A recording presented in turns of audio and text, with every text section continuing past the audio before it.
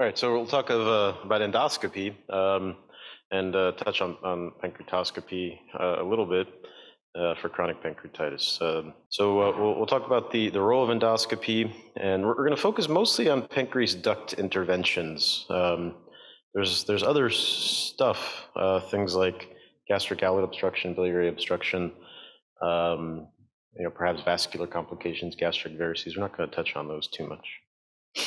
So uh, defining chronic pancreatitis sometimes is a little hard, uh, and uh, uh, but you know it's it's easy if you have a pancreas specimen in your hand. You can have the histology, but clinically sometimes it's hard uh, to make. It's a, um, uh, a, a I like to think of it as a spectrum, a syndrome, and when it's really bad, it's really easy to diagnose. Um, it's difficult when you have mild chronic pancreatitis or minimal change pancreatitis sometimes when there's acute on chronic changes, uh, and sometimes there can be a, a, discordance between what you think might be a functional insufficiency versus some of the structural findings. Um, when you define or look at chronic pancreatitis, it's I, I think two big buckets to look at are those with uh, a non-dilated duct versus dilated duct, because that has some implications for drainage procedures. The first thing that we're going to talk about in terms of the role of endoscopy is diagnosis with the US and uh, it's often very useful, particularly in subtle uh, chronic pancreatitis. There are standardized criteria that we use when we look at the pancreas to decide if there's chronic pancreatitis present, um, but they're not all uh, kind of 100%. Um, uh, the ductal stuff is perhaps a little bit more more useful. Uh, sometimes we find some of these parenchymal stuff in someone who's completely asymptomatic and may or may not, you know, really have chronic pancreatitis. They may be smokers. They may, you know, have gone out last night uh, for the faculty dinner uh, or, or, or, whatever. And, and so you have to be a little careful when you call some of these things. Um, but the more criteria that are present, uh, the more confident you are. So this is kind of normal pancreas, um, you know, nice hyperechoic salt and pepper homogeneous gland with a non-dilated duct. And here are some EUS findings of, of an abnormal pancreas. You can see some of the ductal findings in the first few panels, um, and then uh, what we call echogenic strands, um, which, which correspond to fibrosis. Presence of calcifications is, is highly suggestive, as are the presence of pancreas duct stones. Pancreatoscopy is occasionally useful for diagnosis, uh, particularly in the setting of an incidental dilated pancreas duct in someone who typically uh, didn't, didn't have a history of, of pancreas illness uh, or, or, risk factors for chronic pancreatitis and maybe doesn't really have pain. And here what we're talking about is trying to differentiate uh, chronic pancreatitis, oops, uh, trying to differentiate chronic pancreatitis from uh, IPMN. So this is a video courtesy of possibly a video Oh, there's not. All right. Well, take my word for it. It's a video courtesy of uh, Steve Kim that showed an IPMN with a nice kind of uh, friable uh, cluster of eggs in the pancreas duct. Now, that was typical of an IPMN, and, and you wouldn't see that in chronic pancreatitis. Um, so that's just kind of diagnosis. Most of the time, what we're talking about the role of endoscopy, we're thinking more managing the complications. And really, we're talking about the painful complications for the most part, although there are others that are important. It's important to understand that uh, pain is a, a, complex feature anytime you're talking about the GI tract or other parts of the body. And there's many sort of causes and targets and pathophysiology of, of pain. Um, primarily, though, we're really talking about ductal hypertension relief.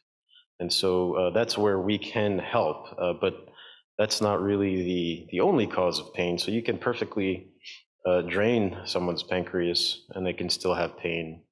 You can remove their pancreas and they can still have pain. So it's it's a little it's a little sometimes of a of a tough situation. It's not a black and white um, uh, entity.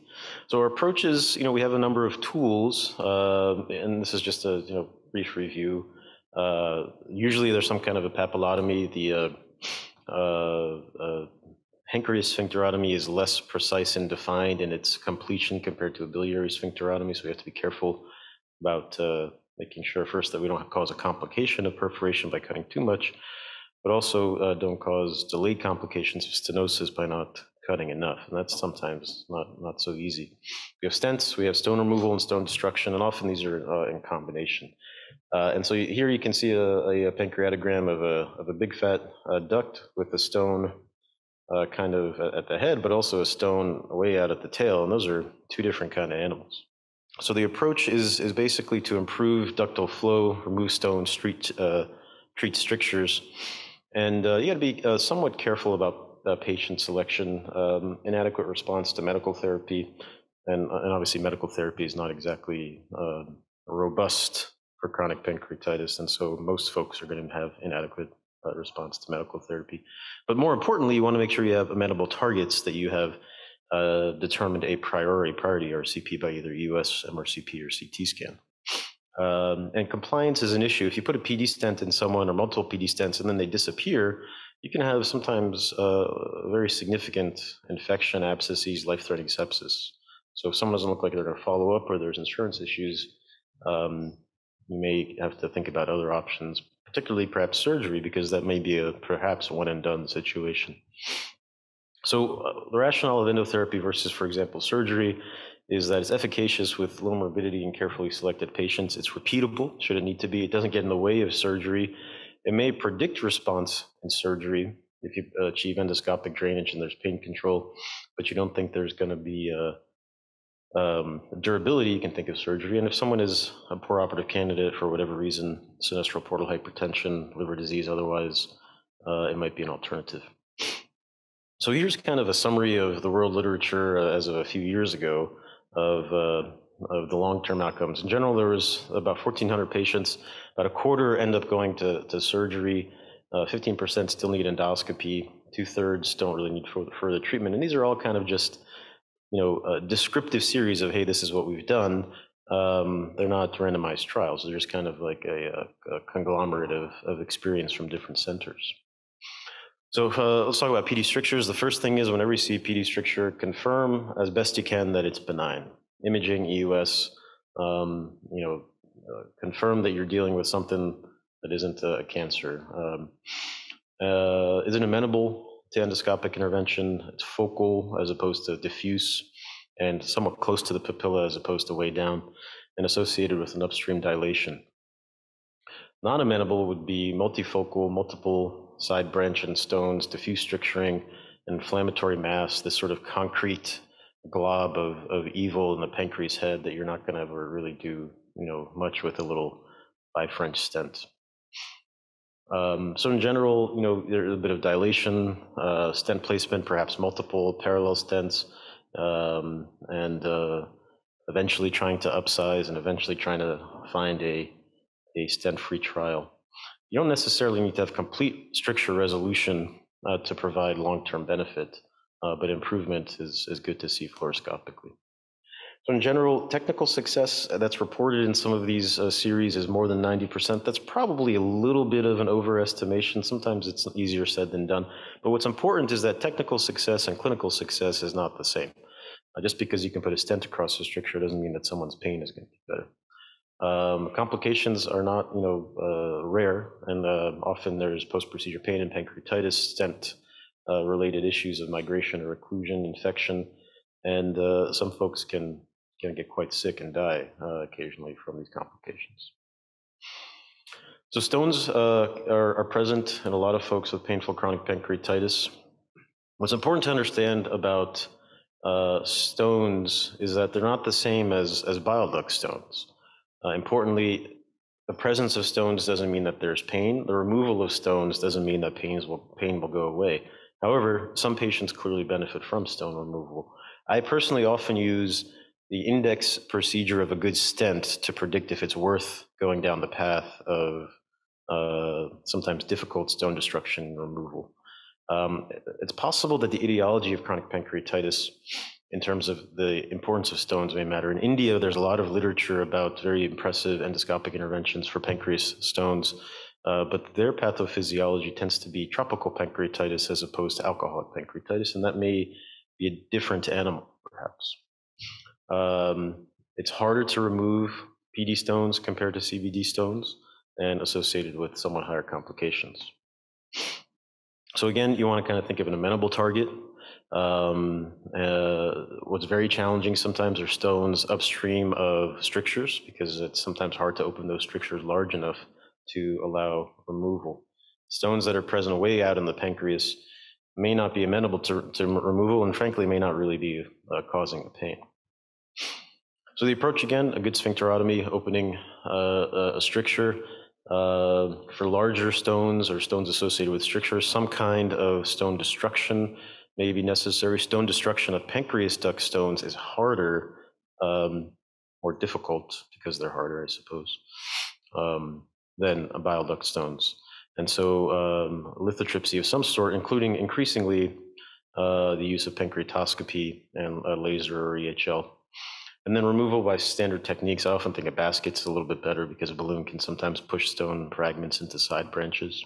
Uh, smaller stones, less numerous stones, uh, non-impacted stones, these are uh, can be removed generally without major lithotripsy uh, maneuvers.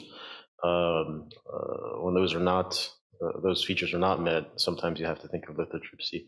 There's a filling defect there in the pancreas duct. If every pancreas duct stone could look like that and be there like that, that would be lovely, but that's usually not the case. So talking about pancreatoscopy, you know, ESWL is used more in other countries than in this country, and certain centers have it. Uh, I think you have a machine in Mayo, don't you? Yeah. So they're lining up pancre- uh, ESWL uh, around the block in Rochester. But uh, in Los Angeles, it's not terribly. I think Cedars may have one, if I'm not mistaken. The urologists have it. Good luck getting them to zap the pancreas for you.